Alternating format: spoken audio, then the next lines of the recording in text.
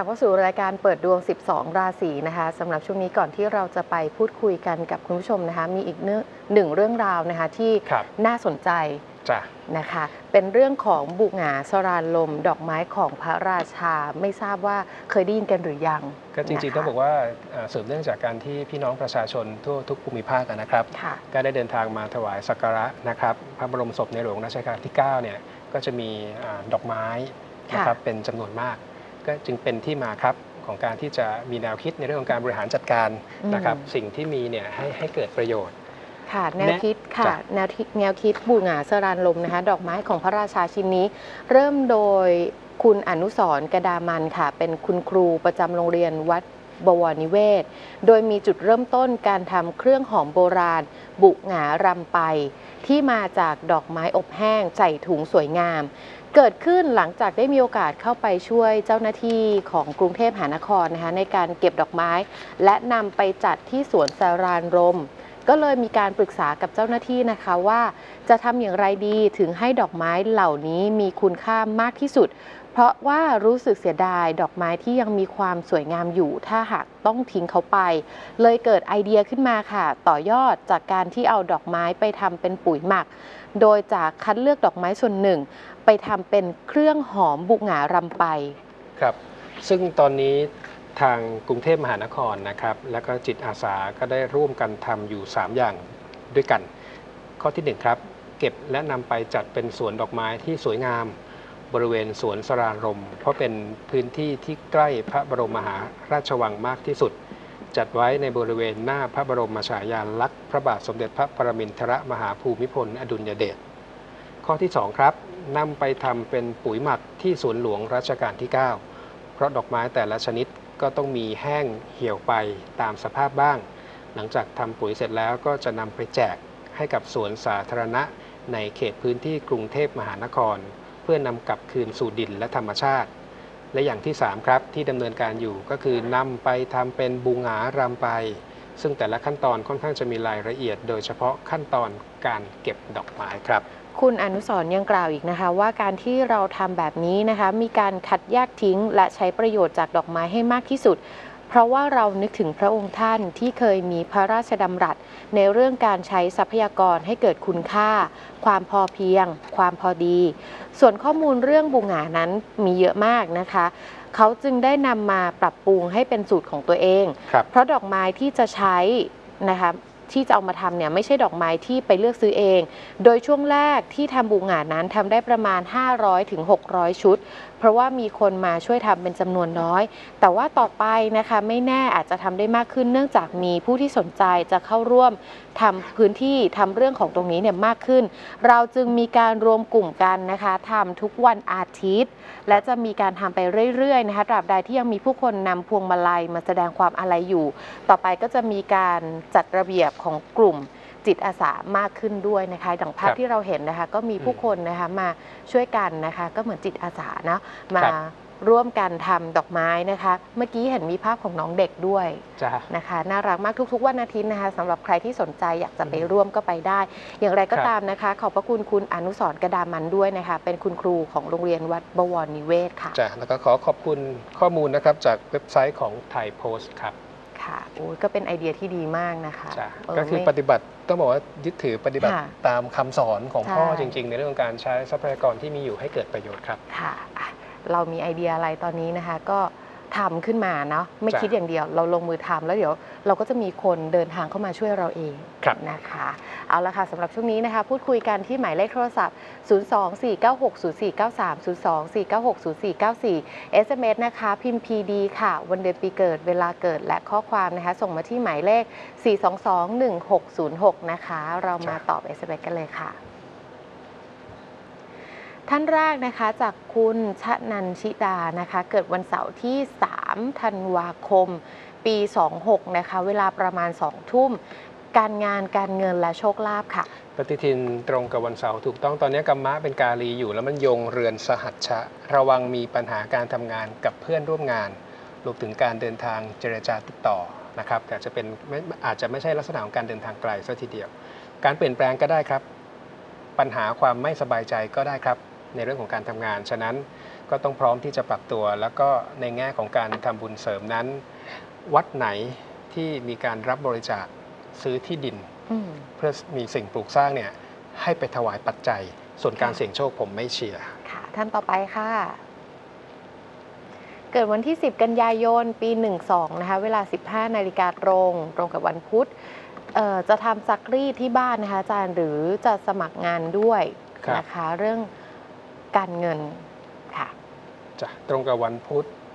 กลางวันถูกต้องนะครับซักรีดคือดาวจันทร์ ดาวจันทร์ ดาวจันทร์ ดาวจันทร์ ค่ะอยากจะสมัครงานด้านบัญชีการเงิน ความจริงต่างกันเลยนะ ทั้งสองค่ะ คืออย่างนี้ครับ ถ้าถ้าพูดถึงงานประจำก่อน ถ้าทำบัญชีผมมีเงื่อนไข ควรจะอยู่กับสำนักงานบัญชีที่มีต่างชาติถือหุ้นจึงจะสมรูปอืมแต่ถ้าเกิดจะทำในเรื่องของซักรีดมีเงื่อนไข 1 ต้องทำเอง 2. นะครับสถานที่ตั้งร้านรวงเนี่ยไม่ควรจะอยู่ติดถนนเส้นหลักอืมนะใต้ถุนยกตัวอย่างเช่นใต้ถุนคอนโดนะครับในตลาดตรอกซอกซอยทำเลดีๆ แล้วก็ถ้ายิ่งมีบริการรับส่ง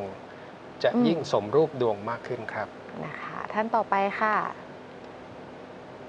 คุณวันนานะคะ เกิดวันที่ 15 มีนาคมปี 07 วันอาทิตย์นะคะ เวลา 20 นาฬิกา 15 นาที หาที่ขายของอยู่ค่ะอาจารย์ แล้วก็ถามทุกเรื่องเลยค่ะเกณฑ์งานในช่วงอายุย่าง 53 เนี่ย มันมีปัจจัยบวกนะครับ โดยเฉพาะในช่วง ถ้าถ้าช่วงสิงหากันยาที่ผ่านมายังไม่ได้ลอนช์อะไรใหม่ ๆ อีกช่วงหนึ่งจะเป็นช่วงประมาณมกราคม นะครับมีเกณฑ์งานใหม่ขึ้น และเกณฑ์งานปีนี้มีโอกาสจะได้รับความช่วยเหลือสนับสนุน ถ้าไม่ได้จากคนรักก็จะเป็นลักษณะของหุ้นส่วนพันธมิตรที่มาร่วมกันทำนะครับอืมแต่ประเด็นคือจะขายอะไร จะขายอะไรเนี่ยสำคัญเดี๋ยวลองดูนะครับ กลุ่มอาชีพที่เด่นที่สุดเลยนะ แต่ต้องใช้ทุนทรัพย์มากเป็นพิเศษก็ธุรกิจพุ่งไอทีเครื่องใช้ไฟฟ้านะคอมพิวเตอร์แม้กระทั่งธุรกิจค้าทอง อันนี้อืมว่ากันตามพื้นดวง นะครับ แต่ถ้าไม่ถนัดและทุนทรัพย์ไม่ถึงก็ไม่ควร อีกกลุ่มหนึ่งฮะถ้าเป็นลักษณะขายในอ่าหมายถึงว่าถ้าเป็นงานซ่อมงานแก้พวกเสื้อผ้าอาภรณ์พวกนี้อันนี้ฝากไว้พิจารณา และกลุ่มสุดท้ายถ้าเป็นอ่าการศึกษาในเรื่องของโหราศาสตร์อย่างน้อยเป็นอาชีพเสริมก็ถือว่าดีครับ ค่ะเบอร์โทรศัพท์ลงท้ายด้วย 0283 ค่ะเอ่อเป็นคู่ธาตุลมโป้งป้างหน่อย ด้านดีอืมคือความคล่องแคล่วรวดค่ะเร็ว นะแต่ว่าในเรื่องของอารมณ์สำคัญ แล้วก็ระวังสิ่งเล่นลับมาเกี่ยวข้องกับชีวิตด้วย ฉะนั้นเปลี่ยนดีกว่า อยากทำมาหากินจัดค่ะเลขสี่สวยๆไปเนาะ4 5เป็นคู่กับค่ะการวางแผนครับถามท่านต่อไปเลยค่ะ คุณดาวหวันนะคะ เกิดวันศุกร์ที่ 28 กรกฎาคม ปี 04 เวลาเกิดอยู่ที่ประมาณ 9 โมงถึง 10 โมงนะคะจ้ะโชคลาภการเงินและหนี้สินค่ะเออดวงเนี้ยระวังนะคุณจะมีหนี้เป็นระยะเลย หมดไอ้นั่นเดี๋ยวก็ผ่อนไอ้นี่คืออม อย่าไปมองว่าเอ้ยมันเป็นเรื่องปกติคนเราทุกคนก็เป็นแบบนี้ไม่ใช่ เพราะของคุณถ้าเป็นอย่างต่อเนื่องเนี่ยคุณจะมีปัญหาสภาพคล่องตลอดชีวิตในระยะยาว ค่ะ แล้วก็ในส่วนของการทำบุญเสริมช่วงปีจรนี้นะครับมันตักบาตรถวายเพลพระให้ต่อเนื่องนะ แล้วก็การเสี่ยงโชคพื้นดวงแย่เลยแหละปีจรก็ไม่เชียร์ครับ อืมนะคะ ท่านต่อไปค่ะ มาเลยค่ะ จากคุณเนทนะคะ เกิดวันศุกร์ที่ 10 พฤศจิกายนปี 32 นะคะ เวลา 16นาฬิกา30 นาทีจะทำบุญวันเกิดอะไรดีนะคะรวมถึงหลังวันเกิดด้วยตอนนี้ทำเกี่ยวกับการจัดอีเวนต์อยู่ค่ะ สุขสันต์วันเกิดนะครับค่ะก็ให้คุณเนสมีความสุขมาก ๆ นะ ที่สำคัญสุขภาพแข็งแรงอีเวนต์ organize นะครับ คือดาวพุธนะคือดาวพุธ เราจะถามว่าอาชีพเนี้ยเด่นหรือไม่ก็ด้านบวกคือได้รับอิทธิพลจากดาวคู่ธาตุน้ำนะครับ มีเงื่อนไขครับ ถ้าคุณทำธุรกิจที่ว่านี้ต่างถิ่นฐานอืมหรือว่าลิงก์กับพวกต่างชาติ ต่างภาษา จะทำให้มันสมรูปดวงมากขึ้น การทำบุญเสริมปีจรนี้ทำบุญลงศพนะครับกับพวกมูลนิธิร่วมกับตันยูปอเต็กตึงหรือว่าวัดวาอารามที่เขาเปิดรับบริจาคกก็ได้ ค่ะ มีความสุขมาก ๆ นะคะ คุณเนทท่านต่อไปเลยค่ะจ้ะ คุณชยานันนะคะ เกิดวันศุกร์ที่ 3 พฤศจิกายนปี 21 ค่ะ เวลา 19นาฬิกา11 นาที งานกับเงินค่ะ เสาเสียนะครับอ่อปีจรเนี้ยกาลีจี้ไปที่เรือนกัมมะนะครับ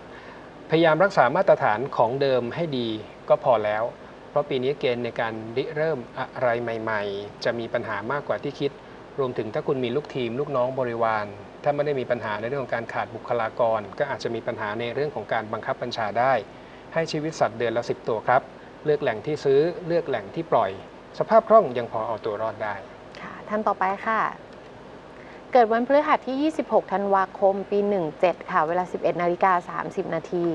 ถามเรื่องของโชคลาภเงินความรักนะคะ แล้วก็กระเป๋าตังค์เนี่ยใช้สีอะไรดีคะสีดำไม่เอานะคะ สีดำไม่จ้ะเอา ผู้หญิงก็ใช้สีอะไรกันนะครับ ถ้าไม่ใช่สีดำ ส่วนใหญ่ก็ใช้สีดำนะคะ แต่ผู้หญิงจะหลากหลายกว่า เพราะว่าจะจ้ะแดงก็ได้ เงินก็ได้ทองก็ได้อ่าอืมแดงดี ส้มก็มีนะคะส้มจ้ะ ก็มีสยแต่ว่าถ้าจะให้เหมาะกับดวงเนี่ยแดงอย่างที่แพรบอก แล้วก็เอามีสีทองสีทองนะให้ดูให้ดูแพงหน่อย ดูหรูหน่อย ใช้ได้ อันนี้คือสีที่เด่นที่สุด แล้วก็จะเสริมในเรื่องของกระเป๋าสตางค์เสริมในเรื่องของเงินด้วย ค่ะ นะครับในแง่ของการเสี่ยงโชคก็เป็นอีกหนึ่งดวงครับ ที่พื้นชะตาและปีจรนี้ไม่เด่น และจะอืมเตือนสำคัญมากในเรื่องของความรัก ถ้ามีคู่อยู่แล้วเนี่ยประคับประคองให้ผ่านช่วงย่าง 42 นี้ไปให้ได้ พูดง่ายๆตอนเนี้ยถ้าไม่ได้ทะเลาะคนรักก็สุขภาพไม่ค่อยดี เบอร์โทรศัพท์ลงท้ายด้วย 42 ค่ะ จันทร์โฉมตรู คู่กับพุธนงเยาว์อืมเป็นคู่มิตรดีครับ โชคลาภมีไหมคะ ไม่ชี้ไม่นะเชียร์อีกแล้วท่านต่อไปค่ะคุณต้อมนะคะ เกิดวันพฤหัสที่ 6 กันยายนปี 16 ค่ะ เวลา 11 นาฬิกา 36 นาที งานนวด นะคะ น่าจะเป็นงานที่ทำอยู่ งานเงินความรักวงเล็บว่าโสด แล้วก็เสริมอย่างไรคะอาจารย์ ถ้าเป็นนวดแผนไทยแผนโบราณพอทำได้นะครับ แล้วก็ถ้าเป็นลักษอันนี้ผมไม่แน่ใจนะ นอกจากนวดแผนไทยหรือว่าถ้าเป็นธุรกิจที่เกี่ยวข้องกับสุขภาพ และมีต่างชาติเข้ามาเกี่ยวข้อง เช่น เป็นผลิตภัณฑ์อืม ที่นำเข้ามาจัดจำหน่าย หรือองค์ความรู้งานนวดที่ค่ะเป็นศาสตร์ของต่างประเทศ นำมาผสมผสาน พวกนี้ก็พอที่จะทำให้มันสมรูปมากขึ้น ส่วนในเรื่องของสุขภาพเนี่ยผมเป็นห่วงนะ ตอนเนี้ยคุณนวดเขาอะคุณหาคนนวดตัวเองด้วย กล้ามเนื้อกระดูกไขข้อจะมีปัญหาอืม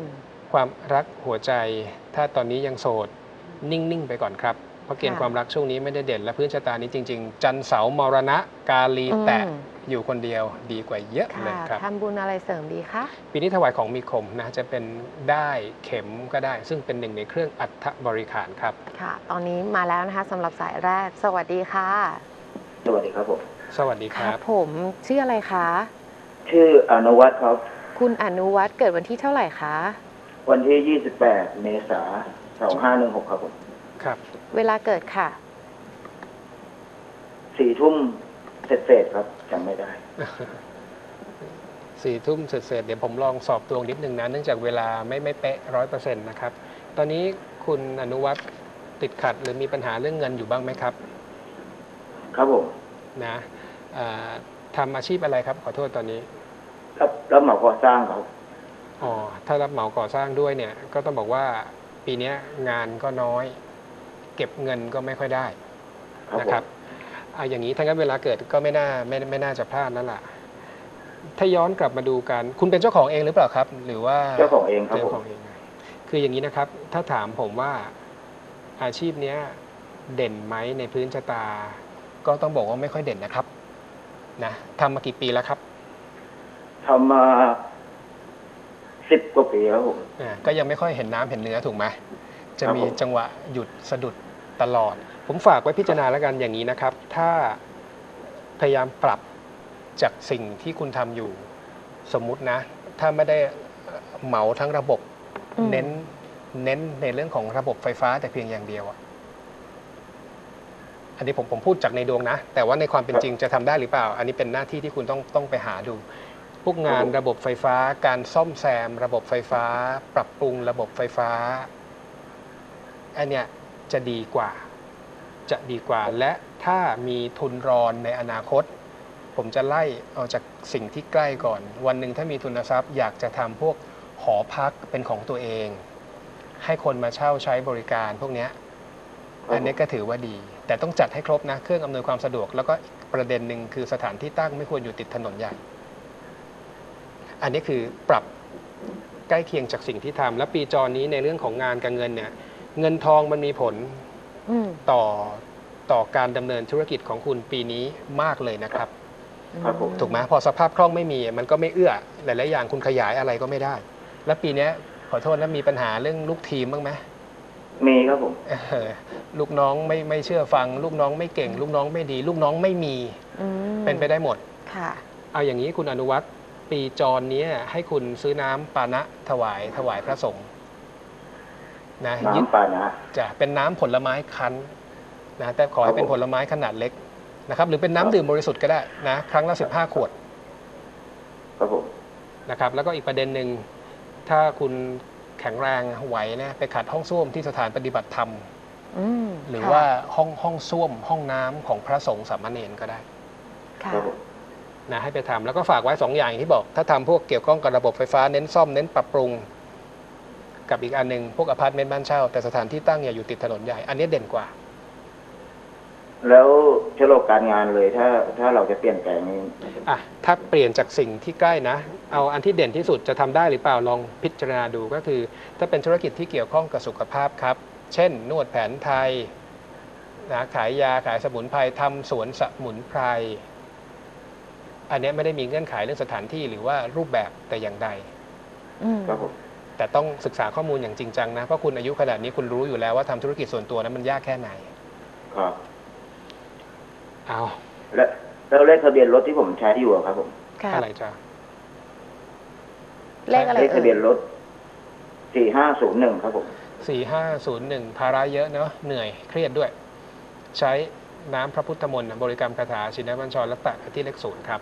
ค่ะ ค่ะ แล้วไอ้พวกหมายเลขโทรศัพท์นี่มีส่วนเกี่ยวไหมครับก็มีในระดับหนึ่งนั้นอ่าลงท้ายคู่หลังอะไรฮะ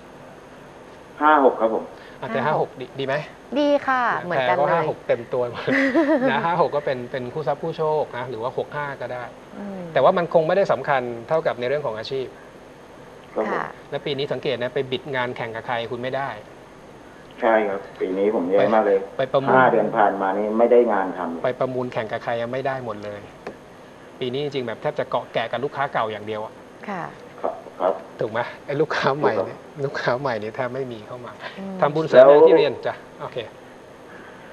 แล้วคนในบ้านนี่เป็นยังไงบ้างครับอาจารย์เอ่อหมายถึงแฟนหรือหมายถึงครับ คนใกล้ตัวหรือยังไงครับฮะผมหมายถึงแฟนแล้วก็ลูกๆอยู่ในบ้าน ปีที่แล้วต้องบอกว่าภายในบ้านเนี่ยบรรยากาศก็ไม่ค่อยดีเท่าไหร่นะครับแต่ว่าปีนี้จริงๆ ถ้าพยายามถ้อยทีถ้อยอาศัยก็ผ่านได้ นะคนรักมีปัญหากันบ้าง แต่ปีเนี้ยถ้าตั้งใจประคับประคองก็ผ่าน เพราะพื้นชะตา ปัตตานีเป็นกาลีขอโทษนะ คู่ครับผมมีตำหนิไหมหมายถึงว่าก่อนจะคบหาเราเคยคบหาใครอย่างจริงจังมาก่อนหน้า พอจะทราบไหมครับ ก็คู่เคยแต่งงานกันแล้วเออนี่ไงคือมีตำหนิ ถ้าไม่มีตำหนิเหนื่อยกว่านี้ครับผมนะหลายอย่างลีลามันก็ใกล้เคียงกับพื้นชะตาที่คุณเป็นนั่นแหละอย่าคาดหวังแล้วจะไม่ทุกข์ทำให้ดีที่สุดครับ อืมนะคะอะมีอะไรจะถามเพิ่มเติมไหมคะ คุณอนุวัฒน์ ก็ไม่มีแล้วครับผมรบกวนอาจารย์แค่นี้นะครับ โชคดีค่ะโชคดีเหนื่อยค่ะหน่อยนะ ปีนี้เหนื่อยหน่อยอืมนะนะเป็นกำลังใจให้ค่ะ ขอบพระคุณคุณอนุวัฒน์นะคะ จ้า สวัสดีค่ะ มาต่อกันที่ SMS นะคะ จากคุณกิ่งการค่ะ เกิดวันพุธที่ 12 พฤษภาคม ปี 14 นะคะเอ่อเรื่องร้ายนะคะการเงินลูกๆและครอบครัวนะคะ สงสัยมานานแล้วว่าจะแอบถามว่าเอ๊ะจอฝั่งนี้กับจอฝั่งเนี้ย มันไม่เหมือนกันใช่ไหมเวมันลาอ่านสมันลับเหมือนกันค่ะ แต่เป็นปีพศ 2614 อ๋อหนูก็งั้นลองเลย พิมพ์จ้ะยังไม่เกิดหรือเปล่าคะ ไม่ใช่ น่าจะพิมพ์มาผิด เดี๋ยวก่อนนะคะ ไม่เป็นไรนี่แหละประโยชน์ของการใส่วันกำกับมานะครับ 12 พฤษภาจ้ะ 14 ค่ะอาจารย์บอกว่าเป็นพุธกลางคืน อ่าอย่างเงี้ยถูกต้องเห็นไหมครับ ถึงอ่าคุณน่าจะจะพิมพิมพ์พ์เลขผิด เราพิมพ์ก็ผิดพอไปเรื่จะองหนึ่งไล่เรียงได้ดีนะผิดที่เลข 5 นะคะ ถ้าผิดเลขหลังนี่ดูไม่ได้เลยจากนะคำถามคืออ่า เรื่องร้ายๆนะคะเรื่องของการเงินแล้วก็ลูกๆ คนในครอบครัวค่ะ ปีนี้ปัตตานีเป็นการลีกแล้วนะครับ ก็คนรักถ้าไม่ป่วยก็ห่างกัน หรืออาจจะมีปัญหาความไม่เข้าใจ ส่วนบุตรบริวารพื้นชะตาเป็นอย่างไร บุตรบริวารถึงจะดื้อถึงจะเชื่อมั่นถึงแข็งไม่ค่อยนุ่มนวลไม่ค่อยไม่ค่อยหวานใส่กันแต่ผมยืนยันว่าเขาเอาตัวรอด แล้วก็พอที่จะพึ่งพาได้ แต่ปีนี้เน้นในเรื่องของความรักความสัมพันธ์ 3 ประเด็นอย่างที่ผมบอก หาโอกาสถวายชุดสังฆทานยาแด่พระพิสุขสงฆ์ครับ ค่ะ ท่านต่อไปค่ะ คุณอภิญญานะคะ เกิดวันศุกร์ที่ 10 มกราคมปี 12 นะคะ เวลา 20 นาฬิกา 30 นาทีทำอาชีพอะไรดีคะ ตอนนี้ขายของชำอยู่ค่ะ แล้วก็เรื่องของการเงิน ไม่แปลกที่ถามเสาเป็นกาลี ตอนนี้ก็เริ่มไม่แน่ใจว่าไอ้สิ่งที่ทำอยู่มันดีหรือเปล่าแล้วถ้ามองย้อนกลับไปที่พื้นชะตาก็ต้องบอกว่าไม่ดีนะครับ เดี๋ยวลองดูว่ามีอะไร วันศุกร์วันศุกร์วันศุกร์ที่เด่นสุดในพื้นชะตา ก็ต้องพัฒนาตัวเองนะครับ ถ้าเป็นลักษณะ เดี๋ยวนี้พวกงานขายตรงก็ใช้คำว่านักธุรกิจนะนักธุรกิจขายตรง ลองดูครับ ไม่ได้มีเงื่อนไขต่างชาติต่างภาษาแต่อย่างใด แต่ถ้าได้ต่างชาติองค์กรที่ว่านะก็ทำให้มันสมรูปตุงมากขึ้น ลักษณะการเป็นคนกลางในหน้านะลักษณะพวกงานเป็นคนกลางในหน้า อันนี้ก็ถือว่าดีรวมถึงถ้าเป็นธุรกิจเฉพาะทางเกี่ยวข้องกับพวกหนังสือสื่อสิ่งพิมพ์ ตำรับตำรานะครับแม้กระทั่งในเรื่องของพวกอุปกรณ์สื่อสารเทคโนโลยีพวกเนี้ยเด่น แต่ประเด็นสำคัญคือเราถนัดเราทำได้หรือไม่อันนี้อีกเรื่องหนึ่งครับ ค่ะ ท่านต่อไปค่ะ คุณสุนันทานะคะ เกิดวันที่ 13 มกราคมปี 19 วันอังคารค่ะ เวลา 11นาฬิกา30 นาทีการงานกับการเงินครับ ปฏิทินตรงกับวันอังคารถูกต้องนะครับอ่า ทานังเป็นกาลีเนาะก็ต้องบอกว่าในแง่ของงานก็จะเป็นประเด็นแบบนี้ครับ ระวังมีปัญหากับผู้ใหญ่ อันที่สองก็คือขออภัยครับ อาจจะได้รับมอบหมายงานที่เราไม่ถนัดไม่ตรงใจ แต่ต้องทำจะเป็นทรงนั้น สภาพคล่องก็เข้าทำนองรับซ้ายจ่ายขวาจริง ๆ ประคองให้ผ่านย่าง 41 นี้ไปให้ได้ หลายอย่างจะคลี่คลาย และก็เปลี่ยนแปลงในทางที่ดีขึ้น ช่วงเวลานี้หาโอกาสถวายปัจจัยให้กับพระพิสุขสงฆ์ที่อาพาธ ค่ะบ้านเลขที่ 349 ค่ะ 49 เฉลียวฉลาดมีสิ่งศักดิ์สิทธิ์คุ้มครองเลข 3 ก็มีความเชื่อมั่นในตัวเอง อืม ผมถ่ายดีครับ เอาละค่ะ เดี๋ยวต้องไปพักสักครู่นะคะ ช่วงหน้าเรายังพูดคุยสายสดกันอยู่นะคะ ที่ 02 496 0493 และ 02 496 0494 SMS นะคะ พิมพ์ PD ค่ะ วันเดือนปีเกิด เวลาเกิดและข้อความส่งมาที่หมายเลข 422 1606 พักก่อนสักครู่ค่ะ ครับ